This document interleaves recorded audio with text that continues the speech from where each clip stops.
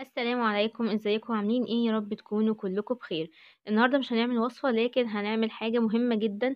آه ناس كتير قوي بتيجي عند رمضان آه مش بتلاقي ليمون يا إما بتلاقيه غالي قوي زي كده بالظبط السنة اللي فاتت وكمان في شم النسيم فلازم يكون عندنا مخزون كفاية من الليمون.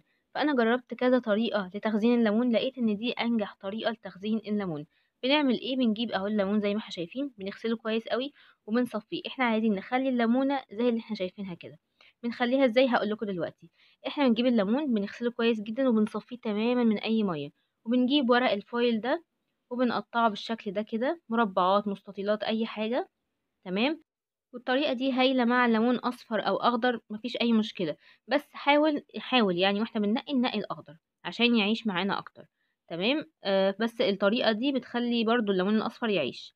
هنعمل إيه بقى؟ بنجيب كل ليمونة كده زي ما إحنا شايفين. أهو لو ليمونة كبيرة شوية بنعمل عليها الورقة ال foil الكبيرة. أهو زي ما إحنا شايفين.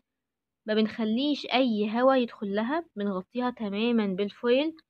آه مش بنخلي ابدا يبقى فيه ولا حتة. بصوا في حتة مثلا باينة أهو بنغطيها كلها تمام؟ عشان إيه؟ مفيش أي هوا ولا رطوبة تدخل لها. ففي الآخر تبوظ. هو ده اللي بيبوظ الليمون. إنما بالطريقة دي مفيش ولا هوا ولا رطوبة ولا أي حاجة هتدخل لها من الفريزر أو من التلاجة آه فهتفضل زي ما هي كده. تمام؟ آه زي ما قلت لكم كده إحنا لازم يكون عندنا متخزن ليمون لأن سعره بيغلى جدا في شم النسيم وكمان شم النسيم آه رمضان بعديه على طول فلازم يكون معانا ليمون. وكمان نظام ال diet اللي إحنا متبعينه للتخسيس آه وكمان المشروبات اللي إحنا بنشربها عشان نخس هنزل لكم link المشروب السحري بتاعي. تحت الفيديو ده عشان برضو تستفادوا منه معتمد على الليمون. يعني النظام ال diet والمشروبات معتمدة على الليمون بشكل أساسي فما ينفعش أبدا ما يبقاش في عندنا في بيتنا ليمون. والطريقة دي بتقعد من السنة للسنة. يعني ممكن السنة الجاية لو عندك شوية ليمون اتبقوا بتلاقيهم بنفس شكلهم كده بس بتطلعي الليمونة الواحدة كده بتخرجيها من الفريزر تهدى شوية وخلاص يعني تاخد على الجو المحيط بيها وتبقى زي الفل وتبقى زي ما هي تمام؟ أنا بقى أهو بكمل الباقي بنفس الشكل كده تمام؟ والصغيرة بقوم قطعة الفويل زي ما إحنا شايفين دي بجد أنجح طريقة لقيتها. يعني أنا بخزن ليمون آه بس بخزنه ساعات بحطه زي ما هو كده ساعات أه بحطه في طريقة تانية كمان في البرطمان أه بس بصراحة بتاخد برطمانات كتير وبتاخد مساحة كبيرة قوي فدي أبسط طريقة. بصوا أهو أنا عملت كل الكمية معايا بالشكل ده كده. هقول لكم بقى دلوقتي هنخزنها إزاي.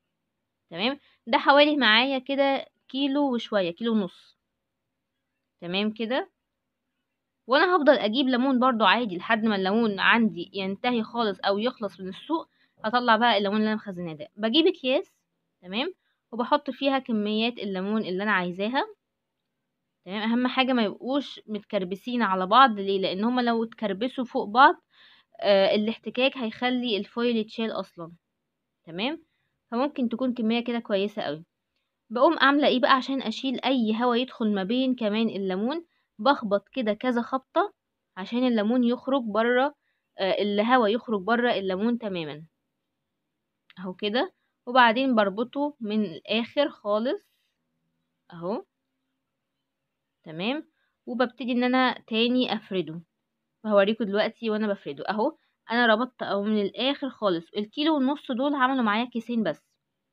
خلاص قعدت آه أعملهم كده في بعض وبعدين ربطتهم من الآخر كده وفردتهم تاني في الكيس.